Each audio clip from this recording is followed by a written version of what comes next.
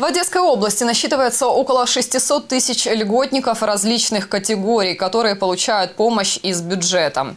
Сюда входят и дотации на коммунальные услуги, на проезд и на санаторно-курортное лечение. Всего на льготы в прошлом году было выделено около 200 миллионов гривен из бюджета. Какие планы на 2014 год в нашем сюжете?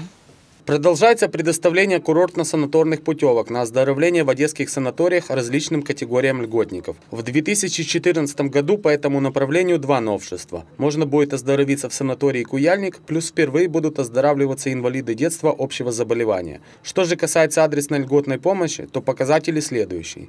На протяжении, на протяжении 2013 года получили адресную целевую помощь 734 жителя Одесской области на общую сумму 4,5 миллиона гривен.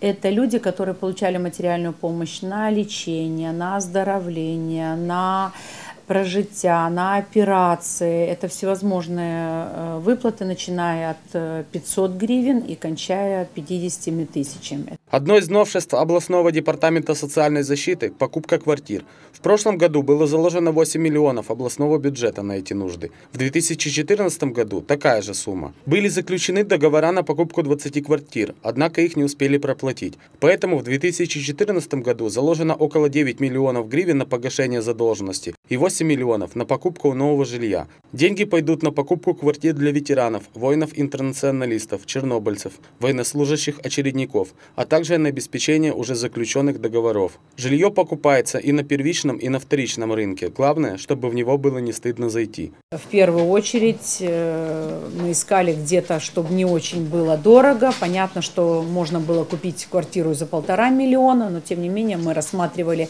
все ценовые пропозиции, которые нам дали застройщики застройщики. Эти квартиры здесь у нас на Прохоровской, эти квартиры на Сахарова. Мало того, люди, которым мы предложили эти квартиры, увидели эти квартиры. Сколько квартир будет закуплено в этом году, сказать пока нельзя. Однако руководство департамента надеется, что сложившаяся на рынке недвижимости ситуация позволит закупить больше необходимых квадратных метров, чем получилось в прошлом году. Анатолий Косин, Руслан Акаев, телекомпания «Круг».